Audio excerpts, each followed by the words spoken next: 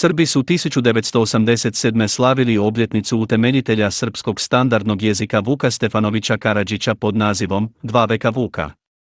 Tada je održan međunarodni znanstveni skup gdje je iznimnu pozornost izazvao Isusovac profesor dr. Vladimir Horvat referatom Vukov srpski riječnik iz 1818. prema riječnicima Isusovaca leksikografa Kašića iz 1599. Mikalje iz 1649. Habdelića iz 1670. Delabele iz 1728. i Ambrešića iz 1742. Taj referat je imao veliki odjek i u tisku. Drugom prigodom Horvat je dao srpskom jezikoslovcu Miroslavu Pantiću u ruke Kašićevo dijelo Ritualimski. Pantić je dugo i pomno listao Kašićev riječnik i na kraju rekao, pa to je zapravo današnji hrvatski književni jezik, pa što ste vi Hrvati onda dobili od Vuka Karadžića. Horvat je odgovorio, hvala na pitanju mi Hrvati od Vuka nismo dobili ništa. Ali sam ja 1987. dokazao da je on svoj srpski riječnik pisao uz pomoć hrvatskih riječnika koje mu je posudio Jernej Kopitar kao šokačke. Kopitar je te riječnike dobio od zagrebačkog biskupa Maksimilijana Vrhovca. Naredni sadržaj je iz knjige Radoslava Katičića, Hrvatski jezik, iz poglavlja, suočavanje s novim srpskim jezičnim standardom. Ovdje su se prikazivali razvoj i izgradnja hrvatskog književnog jezika od 9. do druge polovice 19. stoljeća, a da se gotovo nikako nije spominjao srpski. Rečeno je jedino to da su hrvatski pisci preporodnog razdoblja uzimali riječi iz književnog jezika srpskoga prosvjetiteljstva kada je hrvatskim jezikom koji se nalazio u nagloj izgradnji trebalo obuhvatiti sva područja relevantna za onodobni europski intelektualni diskurs, pa im je odjednom trebalo mnogo novih izraza. To je objašnjeno na stranici 175. A književni jezik srpskoga prosvjetiteljstva bio je od vremena cara Josipa II, pod sam kraj 18. i na početku 19. stoljeća lijepo razvijen. Načelo vjerske tolerancije omogućilo je pravoslavnim Srbima da se u carstvu raskrile u znaku prosvjetiteljstva, pa su tu hrvatski pisci mogli nalaziti riječi koje su im trebale, a u svojoj ih književnojezičnoj tradiciji nisu imali. No taj srpski književni jezik nije bio onakav kakav danas poznajemo. Osim zajedničke čirilometodske crkvenoslavenske baštine prije toga i nije bilo relevantnih dodira. Srbima je kao književni jezik od srednjovjekovnih početaka služio crkvenoslavenski u lijepo odnjegovanoj srpskoj redakciji. Oko polovice 18. stoljeća napustili su svoj srpsko-crkvenoslavenski i preuzeli rusko-crkvenoslavenski. Vjerovali su da je ruska redakcija izvornija i autentičnija i osjećali da ih bolje štiti od crkvenih pritisaka u katoličkom carstvu. Srpska pravoslavna crkva uvela je ruski crkvenoslavenski jezik kao svoj liturgijski i on je to ostao sve do danas. Taj strogo crkveni jezik nije bio pogodan za svjetovni život u modernoj Europi. U tu je svrhu srpsko građanstvo razvilo drugi književni jezik koji je nosio obilježja vojvođansko-šumadinskog ekavskog novoštokavskog dijalekta, a kulturni i sav civilizacijski riječnik preuzeo je od ruskoga crkveno-slavenskog jezika ili čak iz onodobnog ruskoga književnog jezika. Takav se književni jezik zvao slavenosrpski. Srpski su pisci bili tako priključeni ruskoj književnoj komunikaciji, a udaljeni od Hrvatske.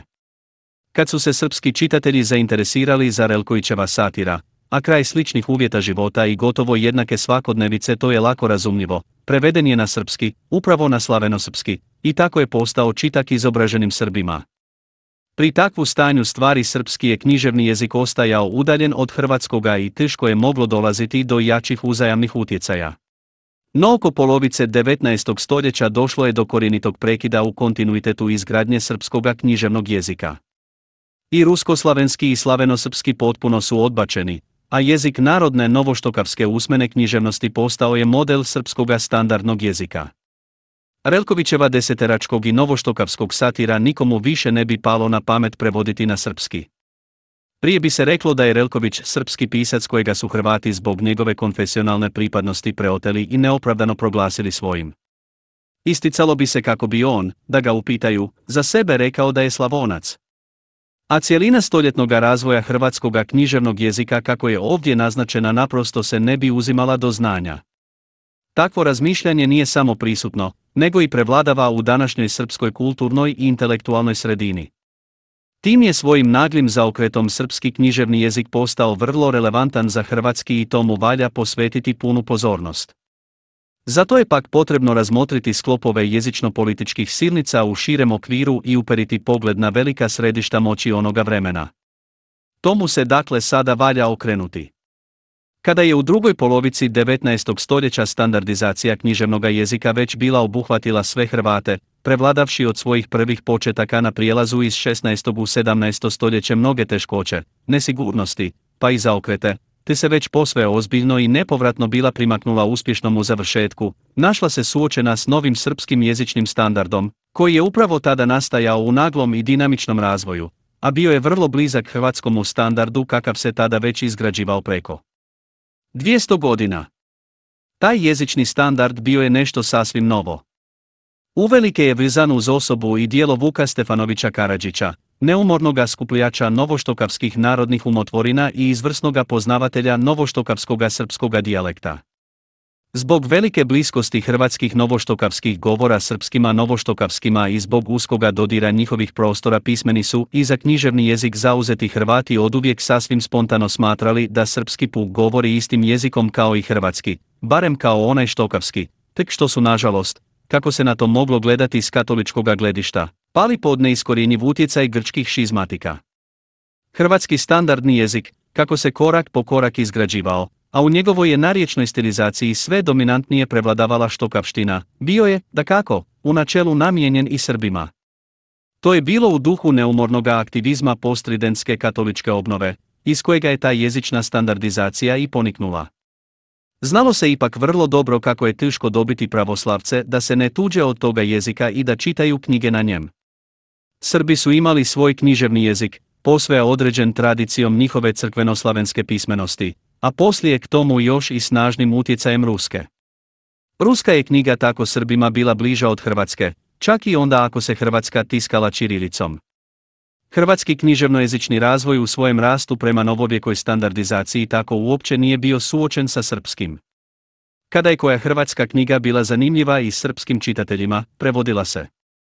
To lijepo pokazuje primjer satira Matija Antuna Relkovića. To se bitno promijenilo kada je u drugom desetljeću 19. stoljeća Jernej Opitar, slovenac rodom iz Kamnika, sjeverno od Ljubljane u Kranjskoj, učenik knjižničar u Bečkoj dvorskoj knjižnici, ali i s dobrim vezama s policijom carskoga grada, zadužen za cenzuru tiskovina na slavenskim i balkanskim jezicima, stao provoditi svoj nacrt jezične politike za južnoslavenski prostor.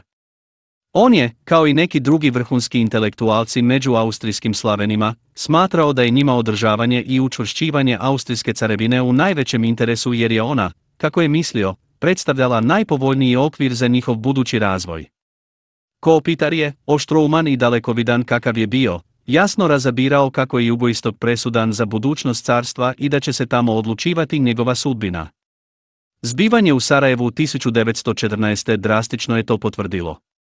Kako je i sam potjecao s austrijskoga jugoistoka, posvetio je upravo tamošnjem jezičnom razvoju osobitu pozornost. Smatrao je da taj prostor treba uključiti u moderni europski razvoj između ostaloga i takvom jezičnom politikom koja će zanemariti sve što je izraslo u dotadašnjem kulturnom razvoju i učvrstilo se kao tradicija književnog jezika i da tamo književne jezike valja izgrađivati isključivo na temelju spontanog pučkoga govora i usmene narodne književnosti. Tipak nove književne jezike, oslobođene svake tradicije, da treba okupiti na sjeverozapadu oko slovenskih govora pojačanih hrvatskim kajkavskima, a dalje na istok i jug oko srpskih štokavskih, kojima treba pridružiti još govore bošnjaka muslimana te hrvata štokavaca, pa i čakavaca, jer kamo bi inače s njima. Za Kopitara je to moglo značiti i očitovanje slovenskoga ekspanzionizma, svojstvenoga svakoj naciji na početku svojega konstituiranja, i stavljanje velikosrpske ideje u službu učvršćivanja austrijske vladavine, okrećući Srbe zapadu, Austriji, i kidajući njihove vrlo uske književne veze s Rusijom, slabeći time ruski utjecaj na njih. Za Karadžića kao seljačko dijete značilo je pak vjerojatno u prvom redu socijalni obrat i uzvisivanje sredine iz koje je potekao nad građansku, od koje je do kraja života ostao otuđen. Za njega je to, da kako, bio elementarni srpski ekspanzionizam, njemu naravan kao zrak i voda. Kopitar je tako na jugoistoku od Alpa za budući razvoj zacrtao samo dva književna jezika, slovenski i srpski. Za Hrvate i njihovu pismenost u toj projekciji nije bilo mjesta, o tome je najbolje pisao Mario Grčević. Tradicija se načelno zabacivala, U obzir se uzimala samo fizionomija pučkih govora i njihova tipologija. Kulturni su se afiniteti zanemarivali. Lijepo se to vidi kada zauzimajući se da kajkavci ostanu pri svojem književnom jeziku i ne preuzimaju drugčiji, stiliziran štokavski, kojemu ih je priključivalo preporodno gibanje, podupire i hrabri Ignaca Kristjanovića, koji se odupirao preporoditeljima i htio ostati pri kajkavskom književnom jeziku. Već 1810. kada su njegove zamisli tek sazrijevale, a Vuk Karadžić još živio u Karadžođevoj Srbiji, pisao je ko Pitar Dobrovskomu, drugomu utemeljitelju slavistike, kako zagrebački bogoslovci nemaju prave predođbe o svojem hrvatskom narječju, kajkavskom, nego smatraju da je dubrovački štokavski pravi i bolji jezik. Pitar to zove predrasudom, ali je zapravo već tada osjetio kako mu namisao udara o zapreku. Ta se pokazala nesavladivom. Pitar nije znao da kajkavske Hrvate, i kraj sve njihove jezične bliskosti Slovencima, s Dalmacijom veže, bratska i mistična ljubav, fraternus et mysticus amor, kako je 1832. pisao Ivan Derkos. Ta se ljubav pokazala jačom od Kopitarovih pragmatičkih zamisli. On je naime zanemarivao ono što se ne smije zanemariti ako će, što se zamišlja kao objektivna pragmatičnost, doista to i biti. U tom svojem nastojanju Kopitar je samo djelomično bio uspješan. Nije mu pošlo za rukom ni to da svoje Slovence odvrati od književnojezične tradicije koja se nadovezivala na Trubarovo dijelo. Nije uspio niti jezično razdijeliti Hrvate i preraspodijeliti ih na Srbe i Slovence. Svoj projekt je ostvario samo kod Srba, i to uz pomoć srbijanskog emigranta u Beču, Vuka Stefanovića Karadžića. Njegova reforma srpskoga književnog jezika položila je čvrste temelje uspješnoj izgradnji novoga srpskoga jezičnog standarda mimo svu tradiciju srpske pismenosti i zasnovati ga samo na novoštokavskoj usmenoj književnosti, njezinim izražajnim osobinama i vrijednostima. Pitar nije samo, kao sjajno naobražen i dobro školovan učenjak, snažno podupro Karadžića, slabo pripravljena samouka, u velikom filološkom pothvatu kojega se taj bio poduhvatio, nego je i Karadžićevo dijelo, kako je on počeo raditi na njem, učinio znanstvenim i kulturnim događajem zapaženim i u velikom svijetu. Karadžićeva književno-jezična reforma imala je u Kopitaru ne samo podstikača i voditelja, nego i vrlo uspješnog međunarodnog lobista, kako bi se to danas reklo. Osobito su tu bili znatni Kopitarovi osobni dodiri s Jakobom Grimom, velikim njemačkim filologom i utemeljiteljem germanistike. Kopitarov utjecaj sezao je preko Grima sve do GTA. Kopitar je uspio zainteresirati Jakoba Grima za slavistiku, osobito pak za epske pjesme u Karadžićevim zbirkama, koje su tako zadobivale svjetsku slavu. Grim je čak i sam počeo učiti srpski. Izdao je Karadžićevu gramatiku, objavljenu kao dodatak njegovu srpskom riječniku, u njemačkom prijevodu i za nju je sam napisao predgovor, Leipzig, Berlin, 1874. U tom je predgovoru Grim dao nesputanoga maha svojemu oduševljenju. Napisao je kako se do duše ne može očekivati da će suvremenici već sada, dok je oko toga u igri još toliko strasti, prepoznati da je srpski samostalan jezik i u svim krajevima po kojima se prostire jedan te isti. Ali gramatičari su, veli, pozvani da oni prije nego drugi kažu istinu.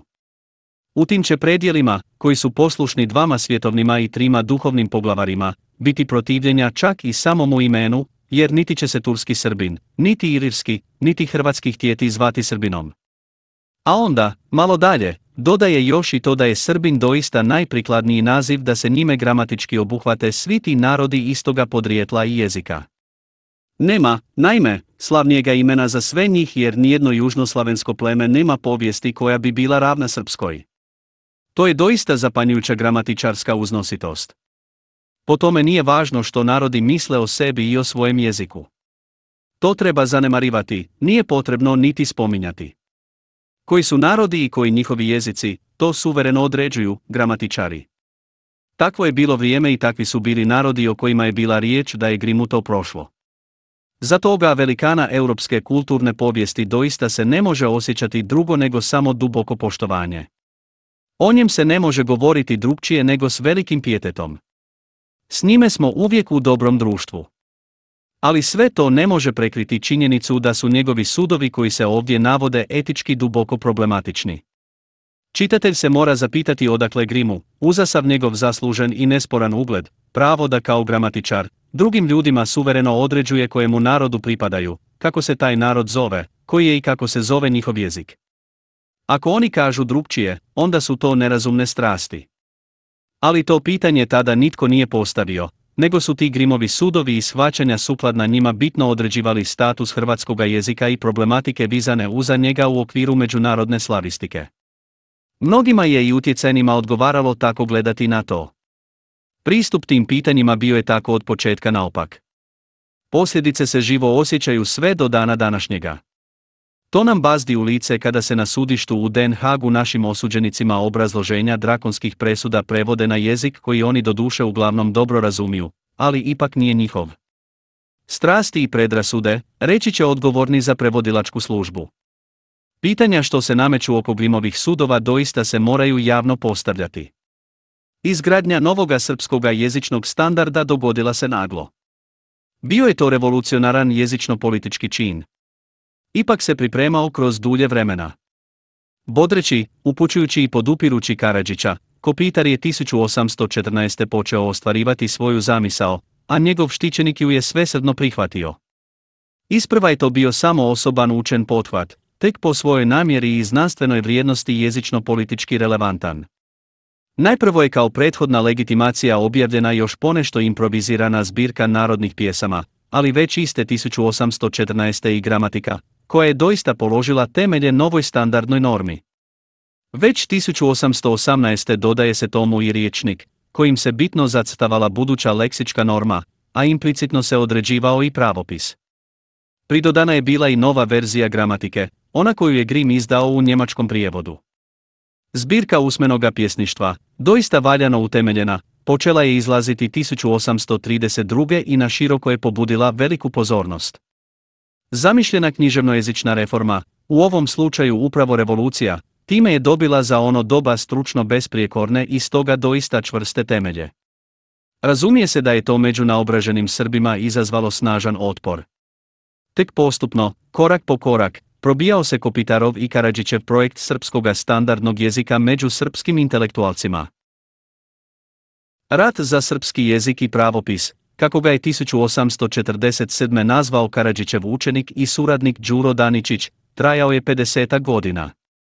Tek 1868. dakle dvije godine poslije Karadžićeve smrti, službena je Srbija prihvatila tu jezičnu reformu.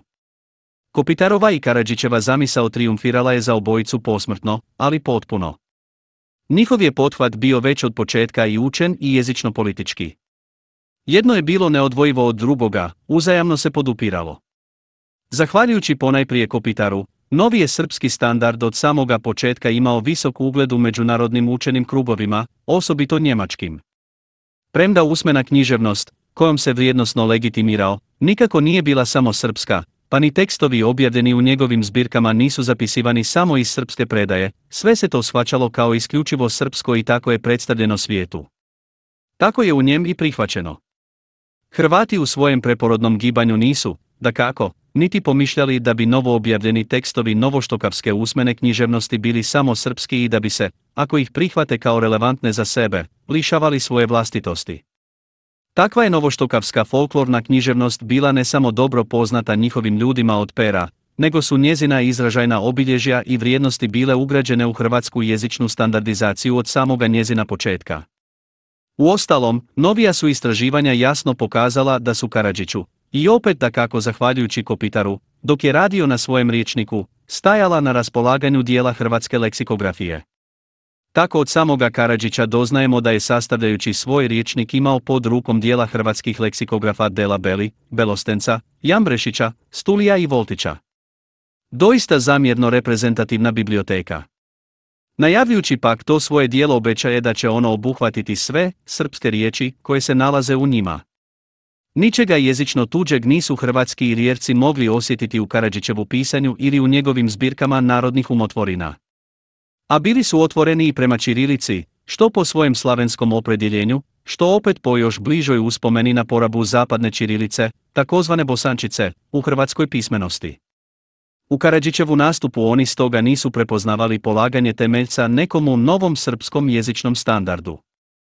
Za njih je to bilo samo znatno i ugledno obogaćenje njihove ilirske književnosti, skladna i svježa dopuna korpusu ilirskoga književnog jezika, a k tomu je taj nastup još i dovodio braću Srbe, i što se jezika i književnosti tiče, u Ilirsko kolo od kojega su se do tada tuđili. Za Ilijevce tu nije bilo nikakva suočavanja. A da se sa srpske strane sasvim drugčije gledalo na to, da se tako gledalo i u velikom svijetu, nije im isprva dopiralo do svijesti, barem ne u svoj težini svojega značenja. Nije ih bilo briga za to. Ni za kakvo suočavanje oni nisu znali. Da su i Rijerci Karadžićev nastup i neumorno izgrađivanje novoga srpskog jezičnog standarda doživljavali upravo tako, dade se nedvojbeno iščitati iz svega što se o njem isprva objavljivalo u Danici Ilirskoj. Sam je pak David Gaj u svojem vjekopisnom nacrtku to za svoju osobu vrlo jasno izrekao. On tamo piše, sjećajući se svojih gimnazijskih dana u Karlovcu, pročitav razgovor ugodni Kačićev, dokućih slast i dostojanstvo ilirskoga jezika. Susret s Kačićem odredio je dakle njegov odnos prema hrvatskom književnom jeziku zacrtanom štokavski. To ga je ponukalo da se odlučno prikloni upravo takvu. Poslije, na sveučilištu u Gracu, bio mu je susret s Karadžićevim zbirkama doživljaj visoke jezične vrijednosti, čitah narodne pjesme srpske, po vuku na svijet izdane, te dokućih i osjetih neprecenost njihovu. Gaju je dakle Karadžić, što se tiče ilirskoga jezika, bio potvrda i aktualizacija njegova Kačića, a ne otkriće nečeg novoga i nepoznatoga. Njegov se nastup doživljavao tek kao dobrodošlo pojačanje i potvrda pri izgradnji hrvatskoga standardnog jezika. Zato je ta izgradnja i dalje išla svojim već zacrtanim putem. Pojava Karadžićevih dijela nije ga potaknula ni na kakve promjene. A u svjetlu toga autentičnog vrela, što ostaje od oni krilatice, Vuki Gaj. Koliko god je, međutim, preporodni pokret snažno ponio hrvatsku štokavsku jezičnu standardizaciju, on je ujedno u svojem dinamizmu poremetio njezinu unutrašnju ravnotežu. Destabilizaciju je prouzrokovalo naglo bogaćenje riječnika jer je standardni jezik morao dobiti potrebnu polivalentnost i na njem se moralo govoriti i pisati o područjima i predmetima što su do tada bili izvan obzorja onih koji su govorili i pisali hrvatski. Trebalo je vremena da se uporabom slegne ta leksička prinova. I uvođenje nove grafije stvorilo je određene nesigurnosti. Slova s dijakritičkim znakovima dobro su do duše sjela, ali je trebalo još dograditi grafijski sustav, osobito pak riješiti pitanje digrafa, dvoslova, koji su se i dalje rabili. Njih će se ipak još zamijeniti slovima s dijakriticima, a tek gdje koji od njih ostaviti. Potrebna je bila i veća normativna ujednačenost nego se je do tada bila postignula tek spontanim uporabnim, a ne eksplicitno propisujućim normiranjem i sustavnim lektoriranjem, kakva do tada nije ni bilo. Od nesigurnosti koje su još bile ostale sve do polovice 19. stoljeća najvažnije su bile tri, ikavsko i ekavsko dvojstvo, izbor između morfonološke i fonološke ortografije i nastavci množinskih padeža u deklinaciji. Razvoj hrvatske štokavske standardizacije tekao je tako da je bez energična normativnoga zahvata bilo teško za ta pitanja postići dosljedna i uredna rješenja. Premda bi se zbog dijalektalne situacije među hrvatskim štokavcima moglo očekivati i obratno, i kako god je ikavština imala čvrsto i duboko korijenje u tradiciji hrvatskoga štokavskog pisanja, ikavsko-jekavska dvojba spontano se i razmjerno rano, iako ne bez otpora, riješila u korist jekavskog refleksa staroga jata. Pomogao je tomu velik ugled dubrovačke književnosti i njezina jezika. Tu je normativna sigurnost postignuta sporo i teško, ali bez potresa. Zbog velike glasovne prozirnosti štokavske morfologije, prikladna joj je i fonološka i morfonološka ortografija, tek nijedna u baš sasvim dosljednoj provedbi. U ranijim razdobljima hrvatskoga štokavskog standarda karakteristično je u tome pogledu kolebanje. Tako već u prvoj tiskanoj gramatici hrvatskoga jezika Bartol Kašić 1604. godine izričito propisuje fonološki pravopis, ali se toga, ispisujući hrvatske primjere, baš i ne drži. Ilijerci su dosljedno proveli morfonološko pisanje, kakvo se učvrstilo u Čeha i Rusa. Tradicionalna je nesigurnost vladala i oko nastavaka množinskih padeža. Tako je naime i u najvećem dijelu hrvatskih štokavskih govora. U njima je situacija što se toga tiče rijetko kada sasvim čista. Ilijerci su dosljedno vratili izvorno slavensko stanje i tako uspostavili najveću raznolikost i etimološki utemeljenu raspodjelu nastavaka množinskih padeža. Od obaju tih energičnih normativnih rješenja hrvatski štokavski standardni jezik postao prenapregnut. Dosljedno morfonološko pisanje zahtijevalo je temeljito razumijevanje tvorbenih odnosa i određivanje granice preko koje se ipak neće ići, tako na primjer hoće li se pisati dosljedno morfonološki svadba ili ipak, kompromisno, fonološki svadba. Trebalo je dobro naučiti da je genitiv množine ženah, dativ ženam, lokativo ženah, a instrumental ženami i tako dalje, za imenice svih deklinacija te odgovarajuće pridjevske i zamjeničke završetke. Spontano i suvereno vladali su donekle time samo govornici konzervativnih čakavskih i kajkavskih dijalekata. Već su 1604. u Kašićevoj gramatici kao moguće varijante predviđeni množinski genitivi kao žena i instrumentali kao s ženama. To su prvi zameci novoštokavske standardizacije. Ilijerci su tim svojim napregnutim normativnim rješenjima novi štokavski svehrvatski standard jače uklapali u slavenski jezični okoliš, a izlazili su u susret čakavcima i kajkavcima, pa i slovencima, s kojima se još dugo računalo da će se ipak još uklopiti u tu standardno jezičnu izgradnju. Time su ilirski jezikoslovci ostajali na smjeru težnje za integracijom bez isključivanja, težnje svojstvene izgradnji hrvatskoga standardnog jezika od prvih njezinih začetaka. Koliko god su se orijentirali prema štokavštini, njihov stav prema drugim narječnim osobinama nije bio puristički. A govorila je iz toga i svijest o normativnoj naravi književnog jezika, koji kao kulturna stečevina zahtijeva školovanu disciplinu. Književni jezik, znali su, svi moraju učiti. Dosljedno su domišljali i zastupali njegovu autonomiju od svih organskih dijalekata. Takvim otklonima pak od smira koji je do tada bila zactala uporabna norma hrvatskoga štokavskog standarda sugeriralo se osim toga, i to uspješno, da za ljubav preporodnih ciljeva svi Hrvati moraju učiti nov jezik, kao što su učili nova slova s dijakritičkim znakovima, te kako se ne traži samo od kajkavske manjine da napusti svoj pisani jezik. To je nedvojbeno pomoglo da se u njoj nije javio jači i odlučniji otpor prihvaćanju književne štokavštine. Ali Zagrebačka je filološka škola, poslije, zadržala sva ta rješenja do pred kraj 19. stoljeća, ne odstupajući ni u čemu. Ako pragmatičnost takva njezina stava i može biti upitna, ne može biti dvojbe o tome da je time čuvala ozbiljne jezične vrijednosti kojih je važnost, nažalost, poslije uvelike potisnuta iz hrvatske kulturne svijesti. Kada se ima u vidu sve to, razumljivo je da novoštokavski hrvatski standardni jezik, kako su mu normu zacrtali preporoditelji, nije lako dobivao unutrašnju čvrstoću. U kulturnoj se javnosti nije stišavao osjećaj da normativna rješenja nisu potpuno uspjela, pa i ne mogu biti sasvim trajna. Opet su se i opet pokretala pitanja i javljala osporavanja. A nema dvojbe da se to i potpirivalo od strana koje bi bile željele druga rješenja. Time se plaćala cijena za skretanje s razvojnoga smira koji je u proteklih dvijestotinjak godina bio već jasno zacrtan i dobro utemeljen sve bez napregnuta nastojanja. Trebalo se prije potpunoga i konačnog dovršenja standardizacije vratiti na nju radi njezine konačne konsolidacije. To je pak značilo u prvom redu napustiti strogo morfonološki pravopis i stare slavenske nastavke u množinskim padežima. Oko toga su se javljale i polemike, osobito intenzivno sa Zadarskom i s Riječkom školom, a poslije između Zagrebačke i nezadovoljnih u njezinoj okolini.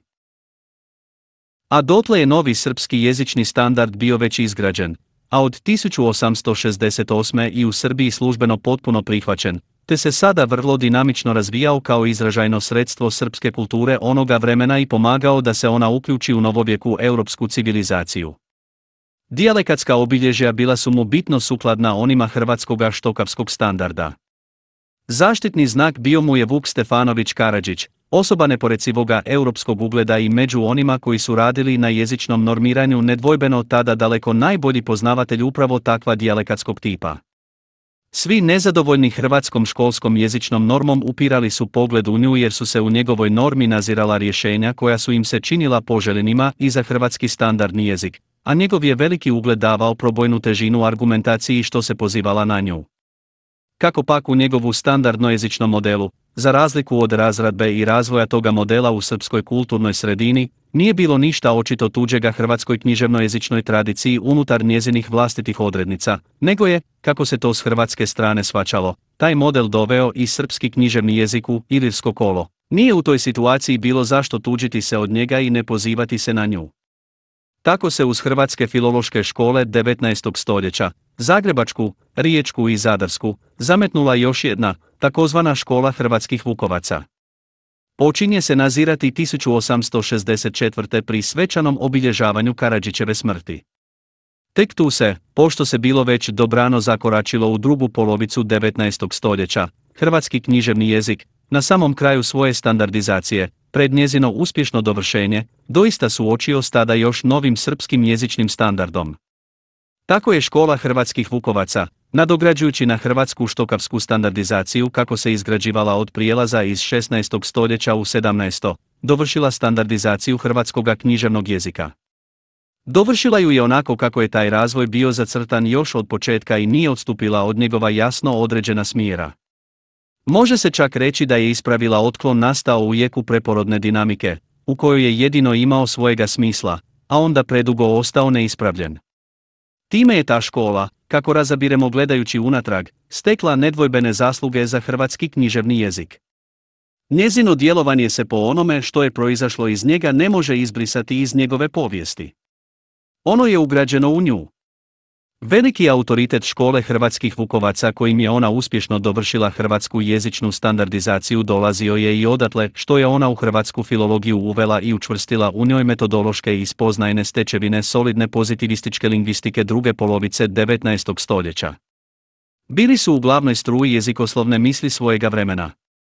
Ako među njima i nije bilo vrhunskih znanstvenika, Vatroslav Jagić nije pripadao njihovoj školi, oni su položili čvrste temelje novom razdoblju u hrvatskoj gramatici i leksikografiji sa svime što to znači za naobrazbu i školstvo.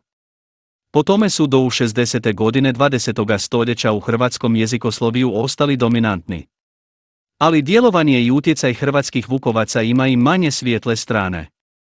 Kako god je ta škola dovršila standardizaciju hrvatskoga književnog jezika u smislu koji je bio imanentan njegovu razvoju i kako god su njezina rješenja bila dobra i prihvatljiva, ona se isključivo okrenula Karadžićevu pisanju i onom njegovih najbližih učenika i suradnika, zanemarila je tradiciju i izražajne vrijednosti hrvatske pismene i književne baštine, prekinula svjesnu i živu vezu s njome. Time je ozbiljno okrnjila hrvatsku kulturu. Veći prigovor nastaje Vukovcima iz onoga što su nastojali isključiti iz hrvatskoga jezičnog standarda i iz kulturne svijesti o njem nego iz onoga što su unosili u njemu i utvrđivali u njemu. Ta njihova težnja za isključivanjem bila je za hrvatski jezik štetna i za osviješten odnos Hrvata prema jezičnoj baštini vrlo nepovoljna. Od toga je svijest o svojem književnom jeziku u Hrvata ostajala neprimjerenom i iskrivljenom.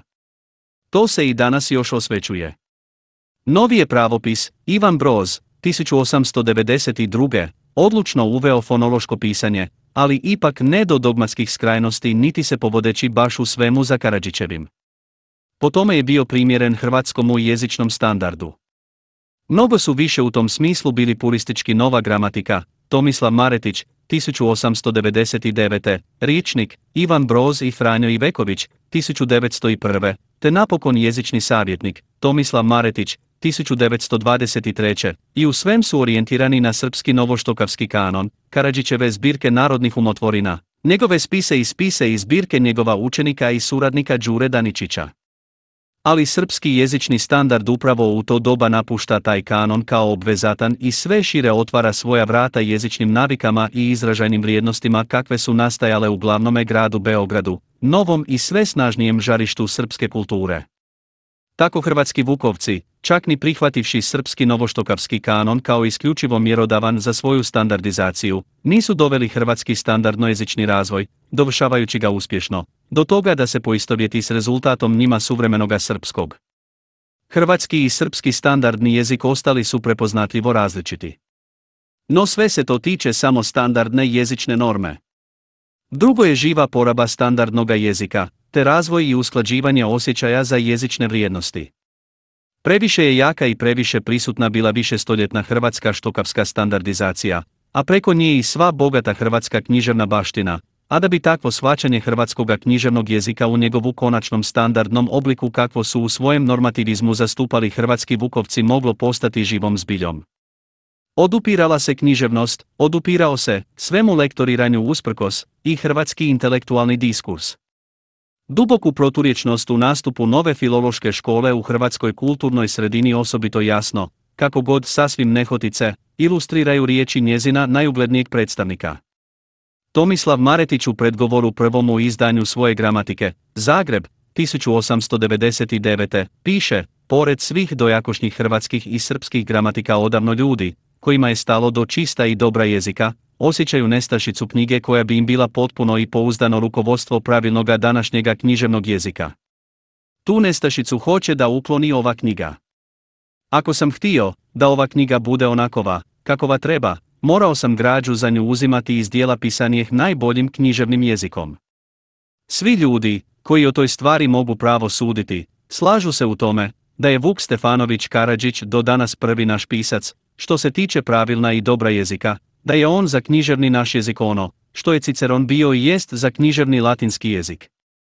Budući da o Vuku i ja ovo mislim, zato je trebalo, da iz njegovih dijela saberem što potpuniju građu za ovu moju knjigu. Vuku se od svih drugih pisaca u pravilnosti književnog jezika najviše približio Daničić, zato sam ja obilno upotrebio i ona Daničićeva dijela, koja su za taj posao najprikladnija. Napokon sam upotrebio narodne umotvorine, što ih je na svijet izdao Vuk poznatom svojom vještinom, u kojoj ga nitko nije dostigao. Drugih izvora nisam htio upotrebiti, jer ne bi dosta bilo uzeti samo još dva ili tri pisca, već mnogo više, a onda bi u knjizi moje bilo odviše citata i ona bi morala biti znatno veća. Osim toga sam uvjeren da i ona tri pomenuta izvora sadržavaju u sebi obilnu građu. Maretić je dosta skroman na količini riječi. No tu se je izrazio tako jezgrovito da sve leži kao na dlanu. Izloženo je temeljno načelo filološke škole hrvatskih vukovaca. Njihov najzenatniji gramatičar u tim je svojim riječima do kraja čestit. Bez obzira pak na to što tko misli o Vuku Karadžiću kao ciceronu hrvatskoga književnog jezika jedno se tu pokazuje sasvim jasno. Tomo Maretić zapravo nije Vukovac, on je ciceronijanac, ciceronijanac u autentičnoj tradiciji humanizma u Hrvata. U srpskom kulturnom ozračju odnos prema Vuku Karadžiću sasvim je drugi. On tamo predstavlja jezičnu spontanost, pravo naroda da govori i piše jezikom doista svojim, bez nametnutih spona i ičijega nadzora. On nedvosmisleno proglašuje da narod za svoj jezik ne treba Cicerona. Za takvo razmišljanje kakvo je tu Maretićevo potrebna je humanistička naobrazba. I samom Vuku Karadžiću je teško da bi išta bilo stranije nego da se postavlja za Cicerona i kojem književnom jeziku. Što god o sebi proglašavala i objavljivala škola hrvatskih vukovaca, ona je zapravo čvrsto ukorijenjena u hrvatskoj kulturi i njezinim tradicijama. A nešto malo dalje stoji u njega i to, svaki obrazovani Hrvat zna, da nije moguća ni pomisao o Ilirskoj, pa će o čitavoj današnjoj hrvatskoj književnosti bez stare književnosti Hrvatske. Što je današnja hrvatska književnost bez ilirske književnosti? Što je ilirska književnost bez Mažuranića? Što je Mažuranić bez Gundulića? Što je? Ništa. Disjeceta membra. Bez ove sveze nitko na svijetu ne može kazati razložne riječi ni o hrvatskom književnom jeziku, ni o mislima, ni o duhu u hrvatskoj književnosti. Taj je otpor bio uspješan. O tome se vrlo zorno može uvjeriti svatko ako samo zaviri u Maretićev jezični savjetnik. Kada se usporedi ono što on zahtijeva s onim što danas u hrvatskome standardnom jeziku žiri, pokazuje se kako njegov zadrti vukovski dogmatizam iz povijesne perspektive djeluje bespomoćno i smiješno. Hrvatski je književni jezik i kraj takve standardne norme i njezine ideologije očuvao svoju hrvatsku fizionomiju. Zbog toga je pod utjecajem Kopitarove projekcije nastalo i do danas se negdje održalo i shvaćanje da su Hrvati, preuzevši ga kao svoj književni, uzeli i iskvarili srpski književni jezik. Na to, kažu, nemaju pravo. A istina je da Hrvati nikada nisu preuzeli kakav drugi književni jezik, nego su uvijek samo izgrađivali i uređivali svoj, kakva god svačanja o tome izricali i kakva god načela zastupali u koje doba njihovi filološki stručnjaci propisujući jezične norme. Hrvatski štokavski književni jezik u svojoj konačnoj standardizaciji prihvatio je, ako se gleda u cjelini, samo ono što je bilo na crti kojom se kretalo njegovo izgrađivanje od svojega početka. Ono pak čime se nova norma s kraja 19. stoljeća, norma škole hrvatskih vukovaca, udaljavala od toga, to je kulturna javnost, osobito književnosti i izobražena jezična praksa, nije prihvatila. Tako ipak nisu odbačene mnoge stečevine Zagrebačke filološke škole, a nisu prihvaćena ni dijalekatska obilježja tuđa organskoj hrvatskoj novoštokavštini. Ipak je od vrijednih postignuća izgradnje hrvatskoga standardnog jezika štokavske boje u prethodnim stoljećima zbog utjecaja škole hrvatskih vukovaca ušlo u 20. manje nego je moglo i trebalo. Dok je ta filološka škola ostala mjerodavna, postojao je osjetljiv rasip između izričito kodificirane norme i živoga književnojezičnog uzusa. Taj je rasip potrajao 60 godina. Preokret je tu obilježio ljudeviti onke svojim temeljitim istraživanjem dijela Adolfa Webera Tkalčevića i objavljivanjem svojih važnih rezultata 1956. Tu se pokazuju vrijednosti Zagrebačke filološke škole, kojima se od vremena njezina konačnog utrnuća nije poklanjala nikakva pozornost. Time završava premoćni utjecaj Vukovske škole u Hrvatskoj sveučilišnoj kroatistici. Repovi mu se vuku još i danas. Prikaz suočavanja o kojem je ovdje riječ ostao bi nepotpun da se ne spomene još jedna njegova dimenzija, a ta je politička. Hrvatski Vukovci imali su za sve vrijeme dok su bili utjecajni jako političko zaleđe, prvo u Austro-Ugarskoj, a onda u Jugoslaviji. I Beč i Pešta težili su za tim da na jugoistoku bude što manje hrvatske samosvojnosti, u svemu, pa i u standardnom jeziku, a cijelo područje da bude tako uređeno da se njime što lakše upravlja jedinstvenom centralnom administracijom i da bude pripravljeno i za eventualno dalje širenje državne vlasti prema Solunu i Carigradu. Bilo je to u temeljnom smislu Kopitarovih zamisli. Bečka se jezična politika provodila izravno u Dalmaciji i Bosni. Upravo je u Dalmaciji otpor tomu jezično-političkomu zaokretu bio osobito snažan, ali pod austrijskom upravom bezuspješan i bezizgledan. U Bosni i Hercegovini nije ga ni moglo biti. U Hrvatskoj i Slavoniji postojala je autonomna prosvjeta i uprava, ali je u njoj u prijelomnom razdoblju vlada bila mađaronska, a ban je bio grof Dragutin Kahuen Hedervari, kako se u Hrvatskoj službeno nazivao, pa se i na području jezične standardizacije provodila bečka i peštanska politika.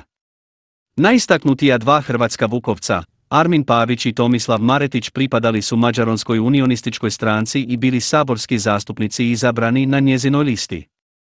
Franjo Iveković bio je Kahuenov kandidat za zagrebačkog nadbiskupa. Tek Ivan Broz ostao je odmaknut od te političke sprege, a upravo on je bio i najmanje dogmatičan od svih u toj školi. Pavić je na Zagrebačkom sveučilištu bio prvi profesor hrvatskoga jezika, član akademije, a u odlučnom razdoblju, od 1898. do 1904. stajao je na čelu prosvjetnog resora autonomne hrvatske vlade. Akademija je još od vremena kad joj je Đuro Daničić bio glavni tajnik i zasnovao rad na velikom ričniku hrvatskoga ili srpskoga jezika bila pod presudnim utjecajem te škole. Ona je tako imala oslonac i u akademiji, i na sveučilištu, i u vladi i u saborskoj većini stvorenoj izbornim manipulacijama.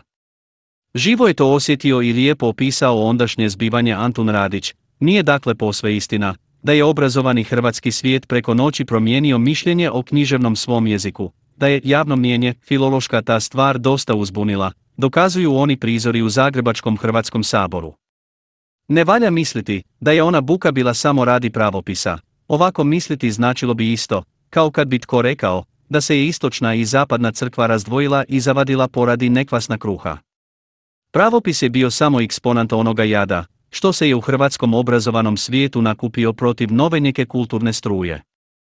No kako su branioci nove ove struje, bili pamet ili sreća? Da kažemo s Gundulićem, bili na takovim mjestima, protiv kojih se uzalud viče i nabacuje, jer su čvrsta i ugledna, mrmljalo se i vikalo, a kako je u nas malo zgode za mirno razmišljanje, rijetko je pala koja mirna i razložna. Tu je zapravo sve rečeno i objašnjeno. Tako se i razumije zašto mišljenja i argumenti što ih je iznosio Radić nisu u kroatistici pobudili onu pozornost niti dobili onu težinu koju po svojoj ozbiljnosti i temeljnoj važnosti zavređuju. Jugoslavija je pak, kada je stvorena, samo preuzela i nastavila austro-ugarsku jezičnu politiku. Tek što iz Beograda njezina oštrica nije bila više uperena prema jugoistoku, nego prvenstveno prema sjeverozapadu. A škola hrvatskih vukovaca imala je i dalje punu političku potporu. Ali otpor nije prestajao, nego je sve više poprimao racionalne i znanstveno utemeljene oblike, onako kako ga je poveo Antun Radić. Tek tada, kad ih je pisao, njegove su riječi odjekivale u prazno. Tijekom 30. su godina, međutim, njegova gledišta stala korak po korak dobivati odlučnu prevagu u hrvatskoj kroatistici. Razvoj standardnoga jezičnoga uzusa i procjena njegovih izražajnih vrijednosti nisu potvrdili projekcije škole hrvatskih vukovaca s prijelaza iz 19. u 20. stoljeće. Samo se vrlo uvjetno stoga može reći da je ta škola pobjedila u konačnoj izgradnji hrvatskoga jezičnog standarda. Njezin uspjeh se, kad se sve zbroji ispod crte, svodi na to da se potpuno uobičajio umjereni fonološki pravopis, pisanje vrijeme, mjesto vrime, i mlađi i nerazlikovni nastavci u množinskim padežima. U svemu ostalome svačanja Zagrebačke škole nipošto nisu zatrta, kako su Vukovci htjeli da budu. Naprotiv, sve su življa. Duboki rasjep do kojega je pod kraj 19. stoljeća i na početku 20. došlo između normativnih stručnjaka tada premoćne filološke škole i kulturne javnosti, a počeo se premošćivati tek od druge polovice 50. godina 20. stoljeća, ostavio je svoje tragove. U širim je krugovima te javnosti otpor normativnim rješenjima ostao prisutan, više osjećajan nego djelotvoran. Taj otpor je u svojoj upornosti i žestini osobito dobro razumljiv kada se ima u vidu politička pozadina konačnoga standardnog normiranja. Površno gledajući, stvarao se dojam da je njime iz književnoga jezika uklonjeno upravo ono što je u njem bilo hrvatsko, a nametnuto nešto nehrvatsko. S obzirom na duh u kojem je ta standardna norma propisana i poslije, barem u teoriji i školovanju, dugo održavana, nije danas lako uvjeravati da to nije istina, da osobito nije istina za ustaljeni hrvatski standardni uzus, premda je znalcu to očito.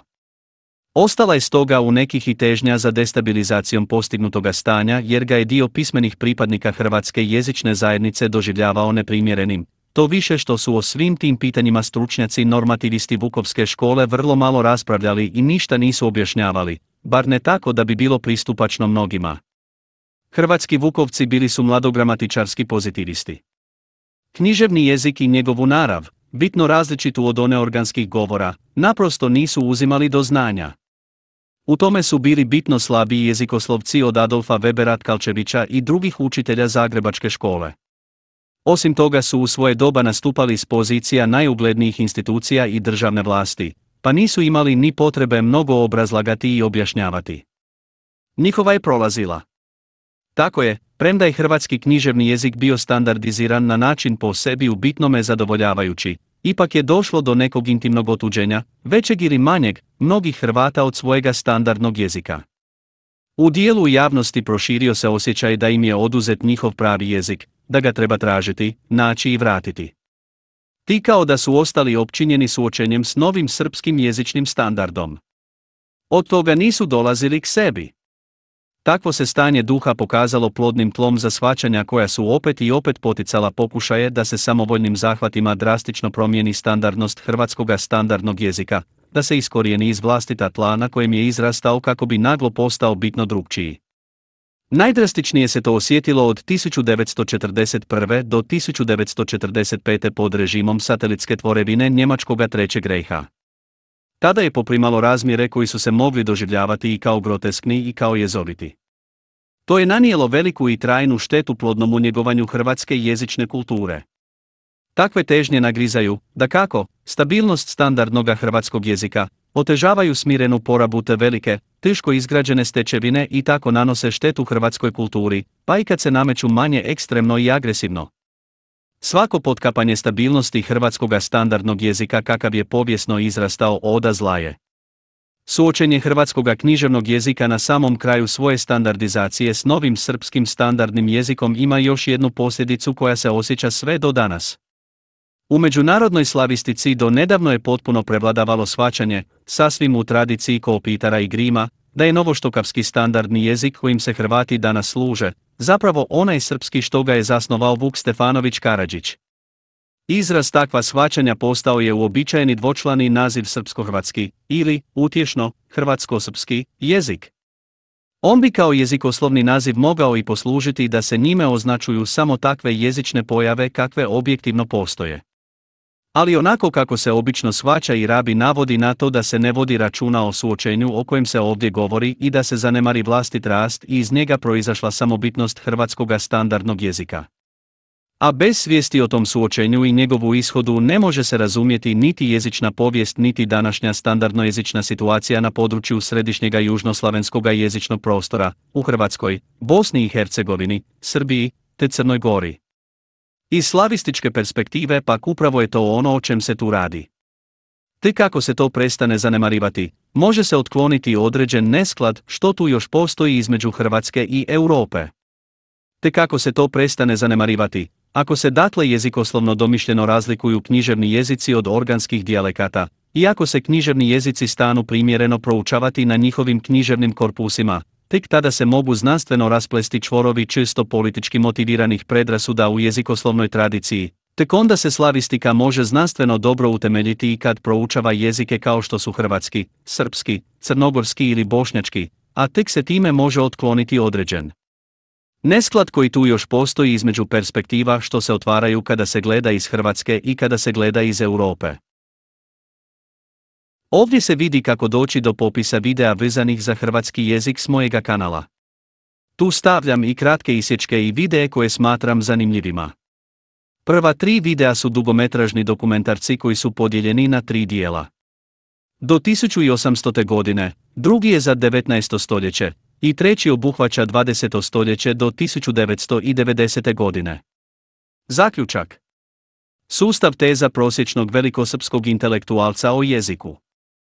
Pod 1. Uzet nam je srpski jezik u 19. stoljeću. Pod 2. Nametnut nam je drugi jezik. Pod 3. Hrvati ne postoje, osim čakavaca i kajkavaca, ali taj drugi jezik koji nam je nametnut nije ni srpski ni hrvatski. Pod 4. Dubrovačka književnost je srpska. Boje li se Srbi reći da su se odrekli svojeg književnog jezika? Koji su zamijenili s hrvatskim književnim jezikom, koji su sebi prilagodili. Da su hrvatski književni jezik prilagodili tako da su u njega uključili svoj beogradski govor. Pa su u svoju lektiru umjesto svoje književnosti ubacili Dubrovačku, koja je hrvatska. Objašnjenje ovakvog iracionalnog sustava velikosrpskih teza, jasan je uzmemo li izjavu srpskog znanstvenika Miodraga Popovića, valja priznati da smo ono što jesmo, da bismo, emancipovani od slepog robovanja svemu što smo nasledili od iskona, mogli da budemo ono što bismo htjeli da jesmo.